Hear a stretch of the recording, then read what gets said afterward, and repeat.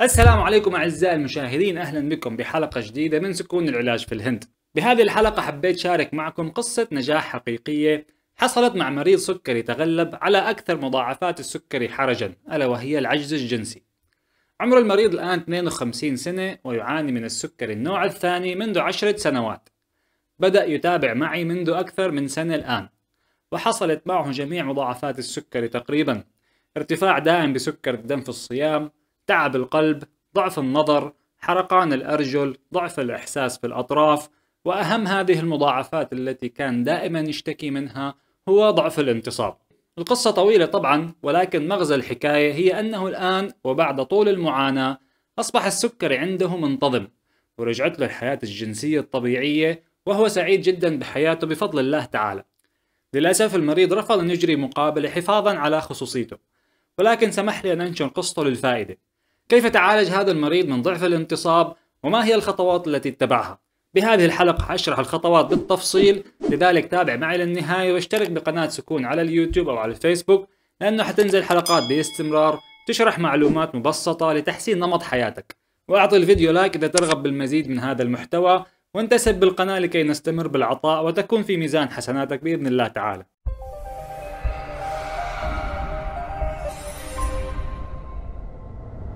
قبل أي شيء لكي نتعلم خطوات العلاج. يجب أن نفهم بالأساس علاقة مرض السكري بالعجز الجنسي. لماذا يعاني 70% من الرجال المصابون بالسكري من ضعف الانتصاب؟ طبعا أسباب ضعف الانتصاب لدى مريض السكري معقدة. أنا حاولت سهل لك الموضوع بخطوات مبسطة لكي يسهل على المريض فهم العملية لأنها مهمة.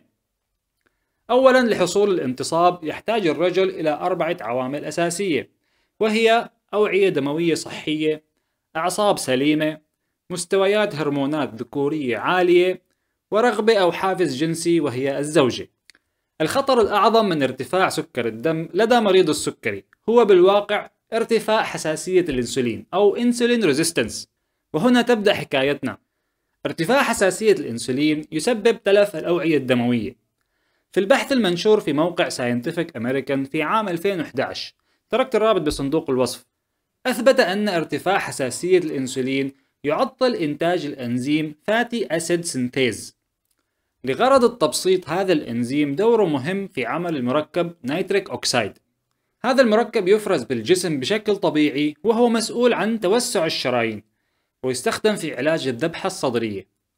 عندما يفشل مركب ال nitric oxide عن العمل تخسر الأوعية الطرفية آلية الحفاظ على توسع الشرايين. وكمية تدفق الدم وضغط الدم. الحالة تسمى peripheral vascular disease. فقدان القدرة على التمدد والانقباض يسمى تصلب وهذا يتلف الأوعية الدموية مع الوقت ويسبب تراكم الرواسب فيها. تلف الأوعية الدموية خطير جدا لأنه يحرم أعضاء حساسة في الجسم من الدم مثل شبكية العين والكلى ويتعب القلب. وأيضا وهنا جوهر القصة أنه يتلف الأعصاب التي تتحكم في الانتصاب. الحالة تسمى نيوروباثي. لذلك حتى لو كان لديك كميات طبيعية من هرمونات الذكورة ولديك الرغبة في ممارسة الجنس فقد لا تزال غير قادر على تحقيق انتصاب ثابت.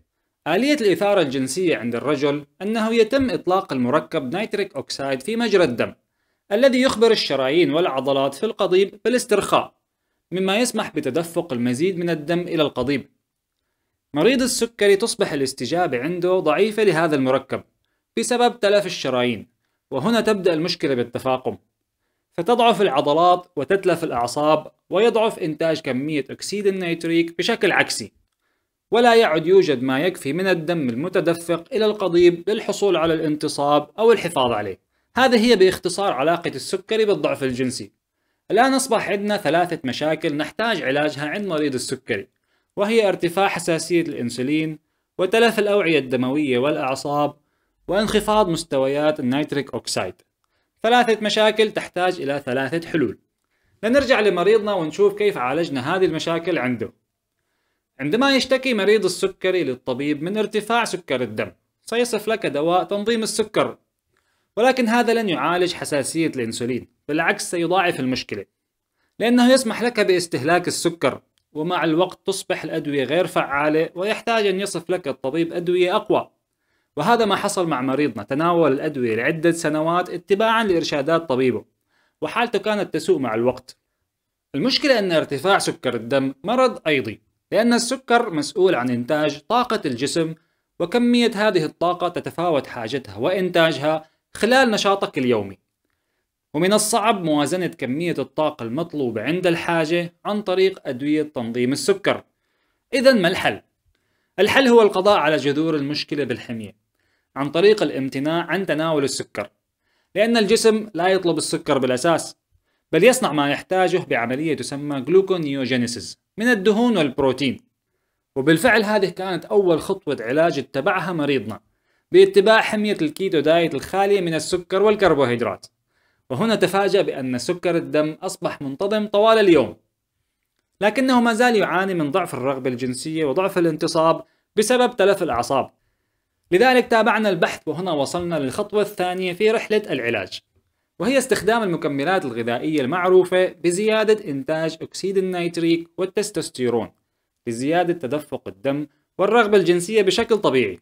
هذه المكملات هي خليط من الأحماض الأمينية الأساسية والبذور والأعشاب الطبيعية مثل الأحماض الأمينية الأرجينين وسترولين وبذور الحلبة fenugreek seeds وبذور الشوفان Avena sativa وجذور فجلة الماكا أو maca root عشبة تونغات علي والزنك والسيلينيوم. وغيرها من المركبات تركت الوصفة بصندوق الوصف. هذه المكملات متوفرة على شكل كبسولات جاهزة ممكن تشتريها من الصيدلية. استمر مريضنا باستهلاك هذه المكملات لمدة ثلاثة أشهر وأعطت نتيجة جيدة. ولكن لم تظهر النتيجة الحقيقية إلا بعد إدخال الخطوة الثالثة على الخطة وهي الأهم يلي فعلا أعطت المفعول وأعطت النتيجة القصوى للمكملات الغذائية والكيتو دايت ألا وهي الصيام المتقطع. فائدة الصيام والالتهام الذاتي أو أوتوفاجي على الجسم كانت نتائج سحرية بكل ما تحمله الكلمة من معنى. عبر التجويع يبدأ الجسم في أكل نفسه وتنظيف خلاياه التالفة ثم إعادة تدوير قطع الخلايا والبروتينات التالفة لكي يتم إصدار نسخ جديدة من هذه الخلايا. وأصبح معروف عبر الأبحاث أن الالتهام الذاتي يحفز إنتاج هرمون النمو البشري Growth هرمون أو HGH وهو هرمون يفرز بشكل طبيعي من الغدة النخامية يساعد على ترميم الأنسجة المتضررة في الدماغ والأعصاب والأعضاء الأخرى وبنائها وإصلاحها وأيضا يساعد على تسريع الشفاء بعد الإصابة وإصلاح أنسجة العضلات وهذه كانت باختصار هي الوصفة الفعالة التي استخدمناها في علاج السكري وضعف الانتصاب لدى المريض في خلال خمسة أشهر فقط وهي حمية معدومة الكربوهيدرات مع الصيام المتقطع والمكملات الغذائية الخاصة. أتمنى أن تستفيد منها إذا كنت تعاني من نفس المشكلة. هذا كل شيء لهذه الحلقة. إذا شايف أن المحتوى مفيد أعطي الفيديو like. وإذا عندك أي استفسارات اترك لي إياها بالتعليقات. تابعني على اليوتيوب أو على الفيسبوك والإنستغرام. بإمكانك الآن أن تدعم القناة ماديا كصدقة جارية إذا عندك الاستطاعة. إما عن طريق الانتساب بقناة اليوتيوب أو موقع باتريون الرابط بصندوق الوصف. معكم الدكتور فارس واعتني بجسمك لأن روحك تسكن فيه.